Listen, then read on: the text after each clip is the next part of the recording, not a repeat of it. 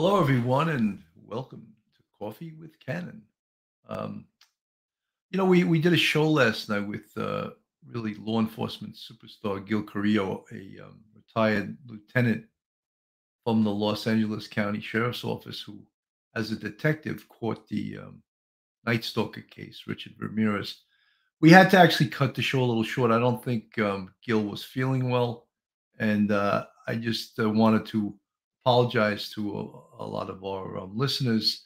Uh, Phil and I did our best. You know, when you do live um, YouTubes, uh, you get what you get, and you can't just stop and say this is a do-over. You just got to keep uh, plowing forward, and that's what Phil and I attempted to do. And I hope that you guys um, somehow appreciated our efforts a little bit. But uh, I'm, I would love to have Gil Carrillo back on. I, I think just he something went wrong. He wasn't feeling well and I fully understand. And uh, I can't reiterate more. The guy's a superstar, and uh, you know we'll, we'll, have him back on. Uh, thank you, Fuzzy Doxy. I appreciate that. Uh, Stratman, 1966. Hello, Bill. How are you? Gene Whitehead from the UK. How's the U? Is the UK as freezing as it is over here? I think yesterday it was 15. I don't know what the temperature is today, but it's pretty damn cold out there. If you know that, I'm not a winter guy either. You know, Although, you know, I always like to watch that show on TV, um, Life Below Zero, and it tells tales about people that live off the grid in Alaska. I mean, I like to watch it from the warmth of my bed and lay and watch it all from the warmth of sitting in front of a fireplace. But I can't imagine living that life. Like you have to go out every day and chop down wood so you have heat for your house, for your cabin. They call it a cabin, you know. And you have to hunt to get your food and you have to chop ice from the river to get your water and to put some kind of uh, disinfectant in the water so it's safe to drink so you don't get sick. I mean, I could not imagine living that type of life. You know, I like to go to the grocery store and pick up my orange juice and uh, my tuna salad and stuff like that. And uh, if my house is cold, I turn up the heat a little bit and I pay those exorbitant heating bills. So I'm not chopping down trees, but not that there's anything wrong with that. Maybe that keeps you even healthier living off the grid because you have to live a um being very physical. You have to be ready to do really hard work, really hard labor, you know. Uh so Phil and I were supposed to do a show today later on for the members. We're supposed to do a show called Cops in the Kitchen, and Phil's going to demonstrate how to make um, veal cutlet parmesan. I haven't heard from him yet, and I told him that I would I was going to do a, a, try to do an earlier uh, coffee with Cannon Lieutenant Pete's in the chat. Uh, th- thanks, Lieutenant Pete. I, I really, you know, we tried our best. It was tough. Um, and I know that uh, Gil wasn't feeling well because I've spoken to him before on the phone. Phil says he's ready for cops in the kitchen. So uh, I'm not going to do a real long show today because we got to get into the kitchen. Phil even got himself a uh, a white chef's jacket. So he he's serious about this stuff, you know. Um, so t- tomorrow night, um, you know, I, we can't help but have to cover this story with this new district attorney, Alvin Bragg. I and many people we find it so outrageous what he's trying to do uh, by not prosecuting very serious crimes. You know, part of politics is, I guess. Hey, Sammy DeFiglia, good to see you, Sam. Sam's been supporting us since the very beginning. He's a retired first grade detective. Sam, I really appreciate you. We were buddies years ago. We worked together in the same precinct back in the 2 precinct back in 85, 86. I can't even remember the years. Um, so getting back to uh, this DA Bragg, it, it's so outrageous. And, you know, part of politics is, and, you know, I, I, I like to put it straight, is to be a good liar. And he's lying. When he says that these policies of non-carceral. I love that new word, decarceration. And that means you don't want to put anyone in jail or prison. So somehow you're going to correct their behavior through other means, which is just not it's not feasible in a city like New York. All the major cities that have tried this have failed, and they're the most dangerous cities across this country. Uh, Christo Cedar, firemen sound better for a cook chef. Is that a rumor? Hmm. Well, look, firemen have to cook because they live in the firehouse basically, and they all chip in X amount a week or a month, and that feeds them for the whole month. And it's like they're home. They live there. Firemen get paid while they're sleeping. Cops don't. You know what I mean? And we don't get to when a cop has to stay over at the precinct. Believe me, if you saw the accommodations, you would cringe. It's not much better than what a prisoner has at the Rikers. And you know, when you when you first come on the police department and they say, oh, "Okay, you're going to work tonight to two o'clock in the morning," but I'm doing a day tour tomorrow. Yeah, that's your problem. Now, if you live way upstate and the drive is an hour and a half, you lose you lose three hours of sleep. Your other choice is to stay overnight in the dorm in the precinct or whatever unit you work in. And many cops they live their life that way. They stay overnight a lot. The precinct is a second, but you don't get the same beautiful accommodations as many of the firehouses have in the city because look, they live together. Uh, Gene Whitehead, Bill, I saw the show with Gil. He reminded me of my late husband was a diabetic. He used to keep touching his head like Gil was when his sugar levels were low into a hypo. You know, Gene, that's very possible. I'm going to give him a call later on today and see if he's okay. Um, I that does not diminish my respect for that man. I have nothing but the utmost respect for him. You know, he actually does his own podcast. He's a co-host with a comic. Uh, the guy's name is George Lopez. He's a pretty famous comic, and um, is the co-host of that podcast. So he's not a stranger to a podcast. So look, enough said about it. I the guy, the guy's aces in my book, and I'm going to give him a call today and see how he's feeling. Getting back to the whole Alvin Bragg thing, we're getting actually some cases that uh, you know it's almost timely cases that show that uh, that this whole thing is not going to work. And and one of the biggest cases we had is up in East Harlem, where a 19 year old girl working at Burger King was murdered during a robbery, and that was after she handed the money over. I'm just going to play a little bit of this um, this news report on this 19 year old cashier who was murdered up in the 25 precinct East Harlem because not because of anything. She was because she was working there trying to make a living, whatever she was doing. Money that suspect made off with. But what's also shocking to the community is that police say when he shot the 19 year old cashier, it was right before he left when the money was already in his possession.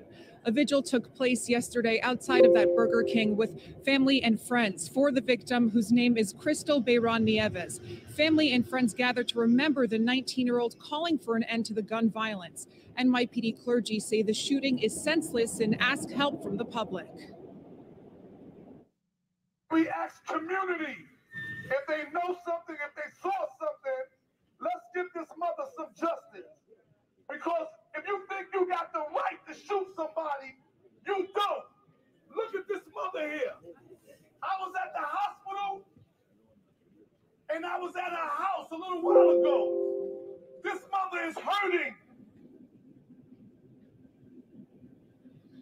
Surveillance video is from inside that Burger King on East 116th Street near Lexington Avenue. The armed robbery happened at around 12:45 in the morning on Sunday, and again, it's unclear how much money the suspect made off with. After suffering a gunshot to the stomach, Bayron Nieves was taken to Metropolitan Hospital where she was pronounced dead, and there's a $3,500 reward for any information leading to an arrest.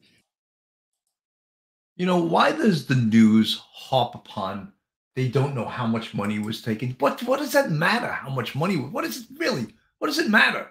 He shot and killed somebody. That's that's the major crime is a murder, not the robbery. Like, are you kidding me? They keep harping. you don't know how much money was taken. Who cares? Who cares how much money was taken?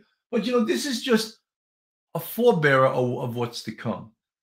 I can tell you, and uh, Phil Grimaldi could tell you, and other people that were on the job when we had broken window style policing is that we weren't seeing these commercial stick ups uh, with the shooting. Uh, we weren't seeing a lot of them. I'll say we'd see, you'd see them every once in a while, but you weren't seeing a lot of them. Another thing we weren't seeing almost any of was the, the crime carjacking. We're seeing that happen again. And it's like we had one the other night in Forest Hills.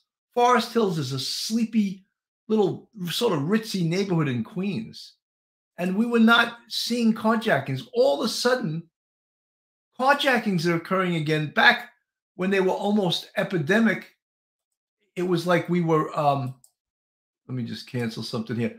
It, it was it was it was epidemic at one point, and it, it was really crazy.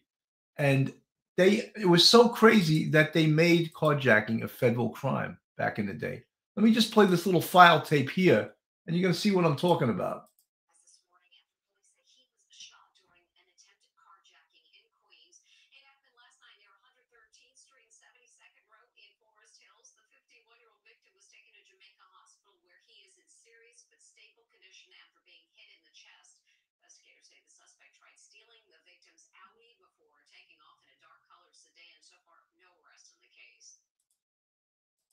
So we're seeing crimes that more or less disappeared, probably because of the crime fighting um, techniques we used. Um, and now we're just uh, we're seeing all these crimes happening again. You know, we're, we're seeing carjackings. I'm sorry, you know, I forgot to bring my is my sound sounding better right now.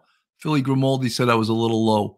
Um, so now we're seeing um, these these crimes that sort of disappeared uh, for a while, and um, it, it's a horror show because, as I said, this stuff stopped for a very long period of time. It, there were no carjackings anymore. There was no um, commercial stick-ups where a girl behind the counter was getting shot. I mean, just just outrageous. But all of these things are coming back now because of this these progressive policies. And you know, you see the different states that have the biggest crime problems are controlled by, but let's say, by Democrats who believe in these woke decarceral policies where they don't want to put people in prison and they think of alternative means, you know, and I find that to be unacceptable because how about the person, the John Q. Public, that is a crime victim? Does the crime victim matter? There's something I want to talk about too that, and there's something called restorative justice. I don't know if you guys ever heard of that. When I used to teach college, I taught a course in corrections, and I never liked to teach that course, but I sometimes get to choose what courses I taught. And there's something in correctional, um, you know, they talk about sanctions, sanctions, and there's something called restorative justice. And I'm going to read you the definition of it a system of criminal justice that focuses on rehabilitation of offenders through reconciliation with victims and the community at large. So, in essence, if you're a crime victim, say you were shot or you're a victim of a robbery, they want you to sit down next to the perp who robbed you or shot you and come to some kind of agreement with him that you're all going to feel better. You're going to hold hands and sing kumbaya, and he's going to be forgiven and he's going to stay in the community. He's not going to be incarcerated how does that work? How does that make any sense whatsoever? It makes no sense at all to me. These are the ideas that some of these woke people are coming but and you know the very communities that are going to have the biggest problem with this are the communities of color they have the highest crime and they're the people that the working poor they're the biggest victims of, of predator criminals like we see in this east harlem stick up I mean, just just just outrageous. And the fact that they're suggesting something like this, this correctional philosophy, I just I just I just don't get it. I I really every time you think it can't get any more outrageous, it gets more and more outrageous. You know, restorative justice. And then there's something called incapacitation. And that's the school that I come from. Incapacitation means you put someone in prison and they don't get out because they're being punished for their crime. It goes back to Hammurabi. Does anyone remember Hammurabi and his code? Yes, an eye for an eye and a tooth for a tooth. That's where I'm coming from. All right.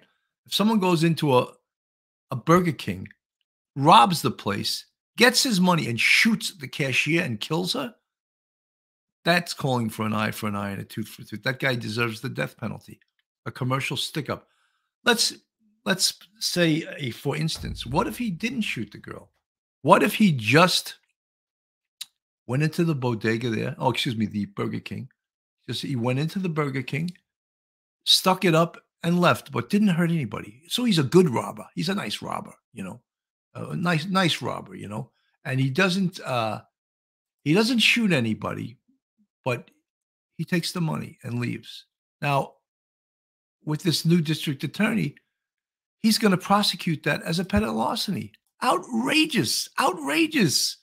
I just, I just cannot, I cannot understand that and it's it's just it's just too, too amazing for me looking for the suspect who shot a 19 year old burger king worker to death during a robbery in east harlem even after the worker handed over the money cbs 2's alice gainer has the latest a memorial grows outside the Burger King on 116th Street near Lexington Avenue, where 19 year old cashier Crystal Bayron Nieves was shot and killed. Her distraught family spoke out today for the first time since the tragedy. Crystal didn't deserve this. She did not wake up thinking she wasn't gonna make it back home. This is hurting our family so much, and we just want justice for her already. Police released these images of the robbery that happened just before 1 a.m. Sunday. They say the suspect entered demanding money. Bayron Nieves was shot in the stomach and died. Two other people were assaulted but are expected to be okay. People have been stopping at the memorial all day. Many didn't even know her but felt compelled to pay their respects. Just feel bad about it. I'm a parent also.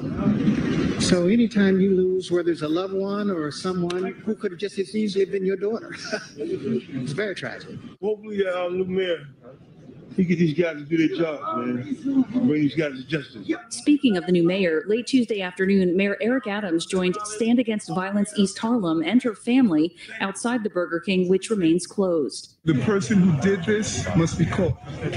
And those who carry guns in my city, we're going to find you. You have an opportunity to go and get the services and be a part of these organizations and groups and get your life together.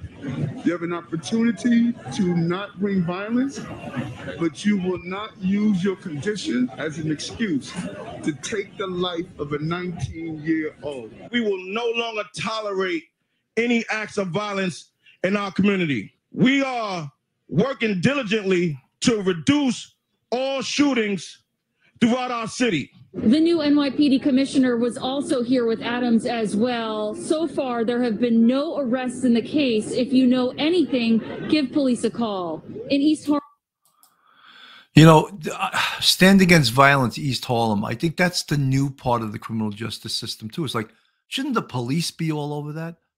Stand Against Violence East Harlem. Those are what they call violence interrupters. Those people are getting paid. There's public funds going to them.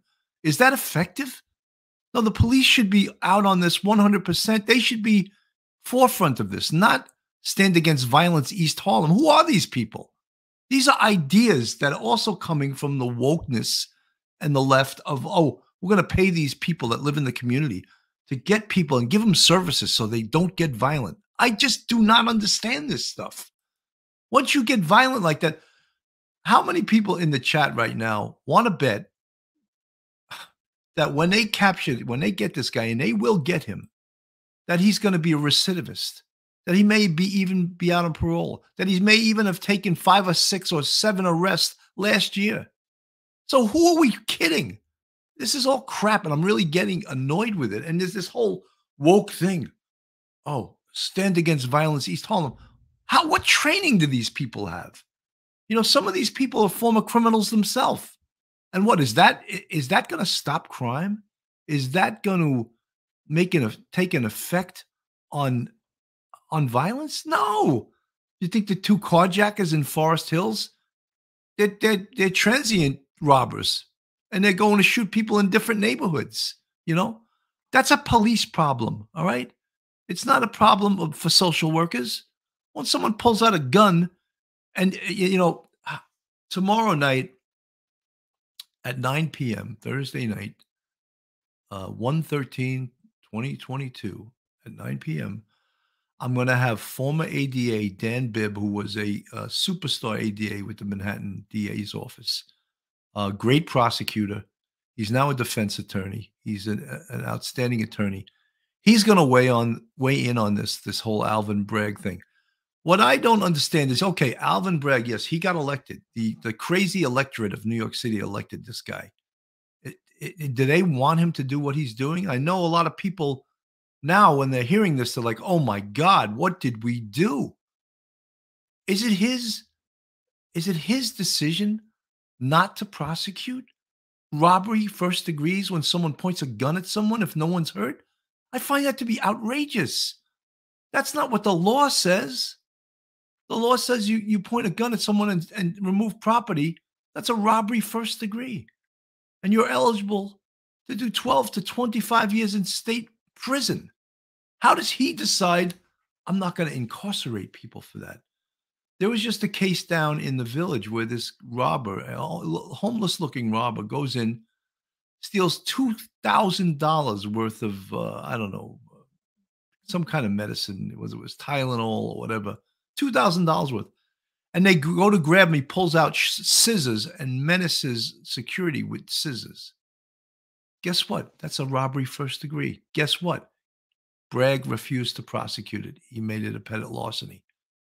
Is that outrageous? Is it, why do we care so much about this homeless psycho's uh, proclivity to do robberies with scissors and not the victims? How about the store owner? You know, from what I understand, and I don't know if this is common knowledge, but a group of high end stores of the owners or the CEOs of stores went this week, this week to Congress as they want something done about these smash and grabs. It's like open season. Come on in. You want to steal stuff? Come on in. We're not going to stop you. In fact, the government is welcoming you to do this because we're going to make it a petit larceny. So I just cannot understand how we got here. How did we get here?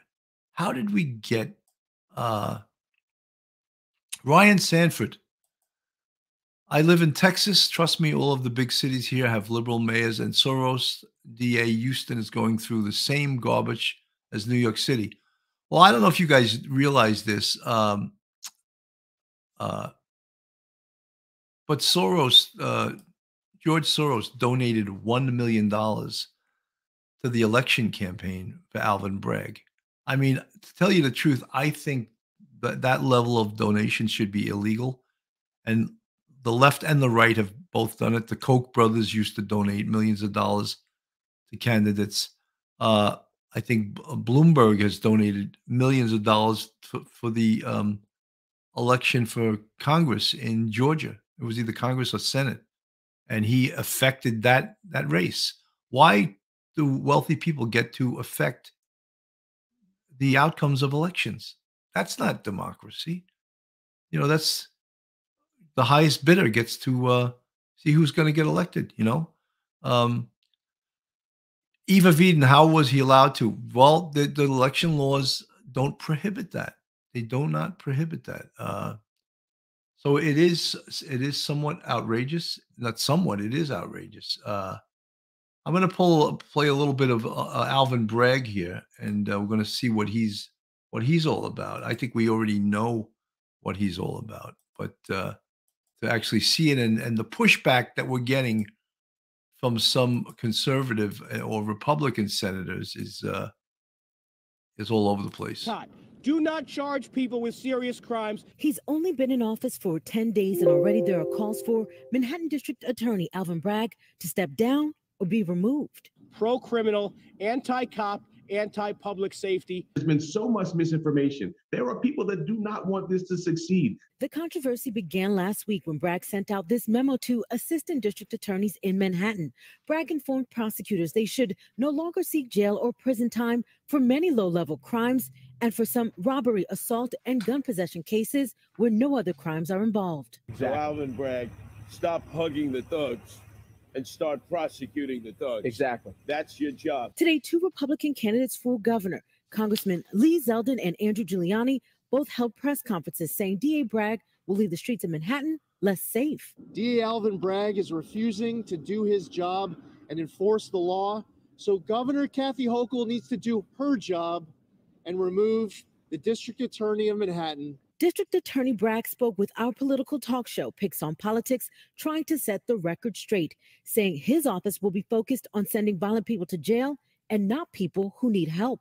If you are uh, suffering from addiction or mental health, uh, and you commit a low level crime, we're going to get you the services you need. We're not going to incarcerate you. And on the issue of violent crime, Bragg insisted it's his top priority. You hit a law enforcement officer, you're going to be prosecuted. That's very serious. I have prosecuted armed robbery throughout my career. You go into a store with a gun and rob it, we're going to prosecute that. You know something? There's no misinformation because I have it right here. I have his eight page memo. So there's no misinformation. Maybe how it's being reported, but he, he absolutely states his position and how he's not going to prosecute uh, certain things. Resisting arrest against a police officer. For the for the most part, he's not going to prosecute that. And he'll come out and say, Oh, I never said that. If someone punches a cop in the face, he's using the most extreme instances. How about when someone flails their arms and refuses to be handcuffed? Is that resisting arrest? In my book, it is. But guess what? Alvin Bragg will not prosecute that. I would like to see some of these politicians make these arrests. They'll not prosecute um, 511 of the VTL, which means unlicensed operator of a motor vehicle, which also, a lot of times when you pull criminals over, none of them have licenses. So you don't want to prosecute that so that they're allowed to drive around the streets of the city with impunity? You think if they have no license, you think they have insurance? Of course not. Of course they don't have insurance. So what happens when they hit a family of four and kill three of them? What what satisfaction of good citizens of this country, of this city, of this state getting when some mope driving a car with a suspended license, multiple suspensions, hits you? and he, he's not going to prosecute that either. So, I mean, he's got to stop because he's lying. He's not going to. Pro- the old thing that we've harped on a lot of times uh, is um, jumping the turnstile, which we always found to be uh, that should be a theft of service misdemeanor. He's not going to prosecute that anymore. So, part of the legal reason that the police want that to be prosecuted is because someone jumps the turnstile. They have something called search incidental to lawful arrest. They arrest that person. They could search him for a gun. Lo and behold, they're recovering many guns from these turnstile jumpers. When there's a heinous crime on the subway, what percentage do you think of the criminals that commit these crimes pay their fare? What percentage? Almost none. When they take a poll to that, they're jumping the turnstiles with impunity. So uh, it's outrageous. And you know something? When he talks about services for mentally ill, you know, that's almost like a chicken or the egg story. Are, are criminals criminals because they're mentally ill, or are they mentally ill because they're criminals? Because many of the people that are predators in the subway are mentally ill.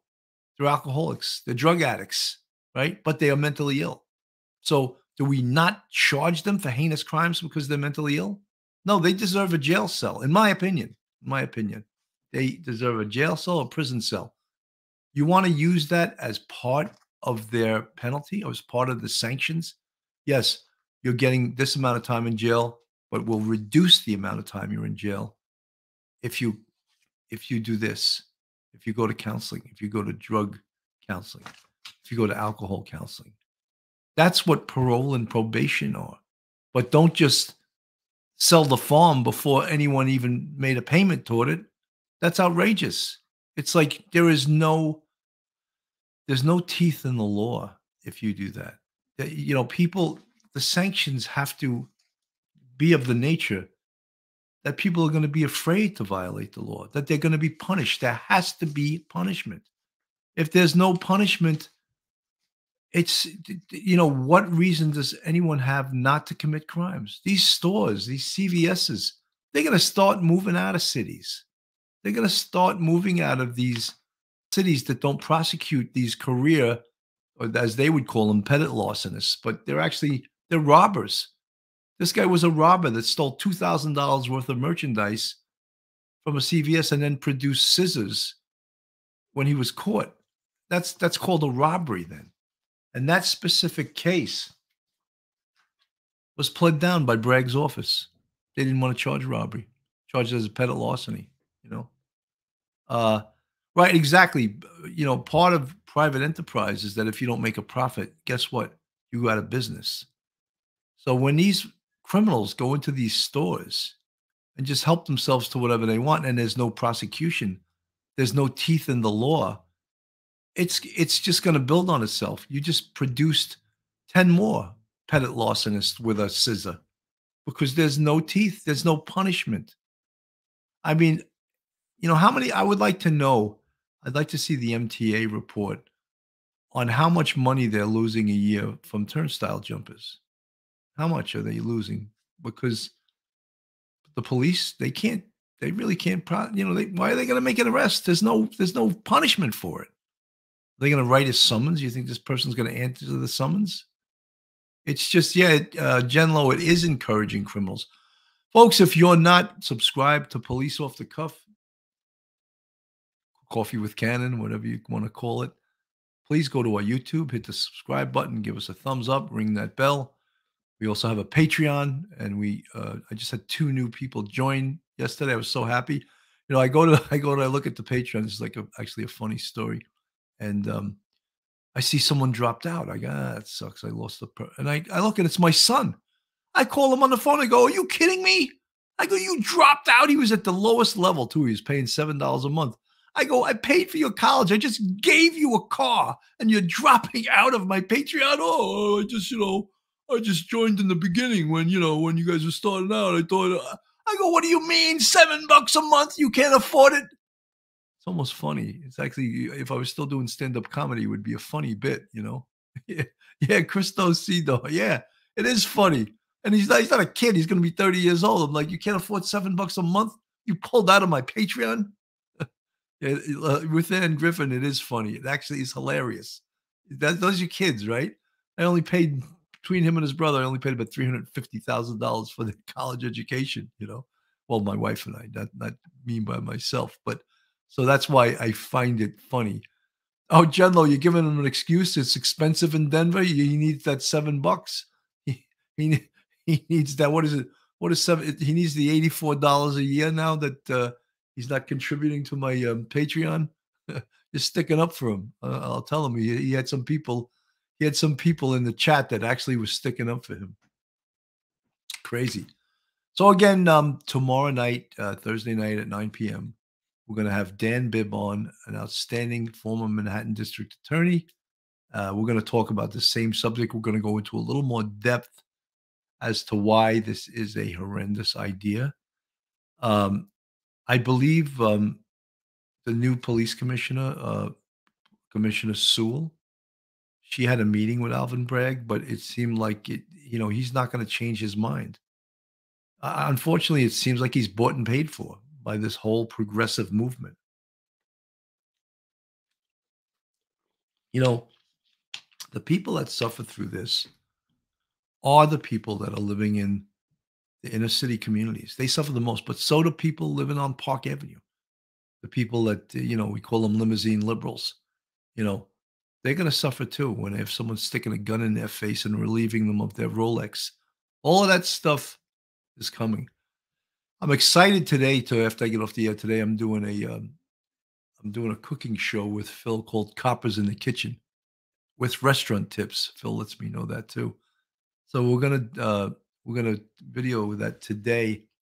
I'm going to put it out there just for our YouTube and our Patreon subscribers. Maybe my son will re up and pay seven dollars a month once he sees there's some new there's some new coppers in the kitchen show. You know, I doubt it, but uh, he he may do that. Uh, hello, Anna. Good to see you, Anna. Shipilovskaya. I don't know if I said that right. Shipilkovskaya. Shipil. Wow, that's a tough that's a Russian name, I'd imagine, right, Anna? Difficult to say. Uh, crazy. Stratman 66, Biden is killing my fixed income, Sergeant Bill. Yeah, it's things have gone up, right? Uh things have gone up, everything's going up. You know, guys, I'm at um, almost 35 minutes. I just wanted to do a quick hit to say hello to all you guys. Uh, uh, give a little bit of apology for last night uh, even though, as I said, uh, um, uh, Gil Carrillo still aces in my book, and um, yeah, it's crazy. It's crazy. This whole the whole world's crazy right now, you know. But anyway, I just wanted to say hello. Coffee with Cannon. I forgot to show my police off the cuff mug, which I do all the time. There we go, police off the cuff. And of course, our motto, our dipped in butter motto. So you can get that merchandise on our on our police off the cuff the police off the cuff uh, website, policeoffthecuff.com. That's where we have our, our merchandise. Uh, The whole world is crazy because of the leftist period. You know, I sort of feel that I can't, I can't, you know, you got to say who's doing it. And, you know, it's being done by, um, by progressives. And it, they, they're trying this whole new model of called, uh, Scotty Wagner, yeah, we were talking about the shopping cart killer and Fuzzy Doxy. Thank you for the 499 super chat. Scotty Wagner had one of the cases that went a serial killer in East Harlem back in 1997. His name was Aaron Key, and Scotty Wagner had one of those cases, and that uh, he was also called the shopping cart killer before the shopping cart killer in Virginia. Folks, I'm going to say goodbye right now. I just wanted to say uh, hello to everyone. Coffee with Cannon. I'm going to be signing out. I want everyone to be safe and God bless. And come see us uh, tomorrow night at 9 p.m. with uh, retired ADA Dan Bibb. Thanks again. Have a great day.